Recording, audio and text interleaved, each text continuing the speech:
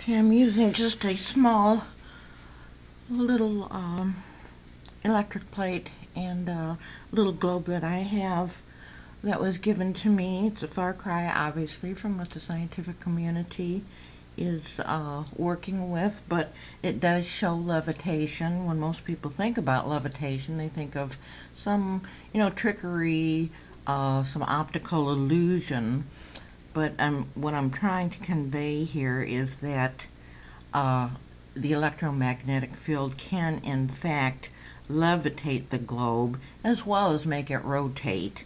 Rotation is called uh, caused by the uh, magnetic field itself. Uh, first of all, let me just run my hand across this so you can see that there is just absolutely no strings or anything. This is an electric or a, a tile it's uh, used, uh, you know, in the bathrooms, in the kitchens. It's just a standard ceramic tile. I'm going to put it underneath the globe to show you that the electromagnetic field will not be disturbed because of it, despite the fact that it is uh, relatively thick. I'm going to do it again from this way so that you can see that there is nothing underneath it there. Now we'll get a little bit fancy.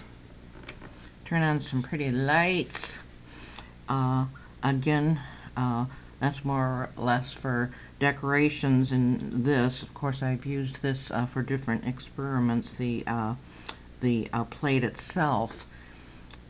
But one more time, we'll go through here and take it out on this end. So levitation is real. It is not always an optical illusion. It is uh, created by the electromagnetic plate with the emphasis uh, definitely on the uh, magnetism.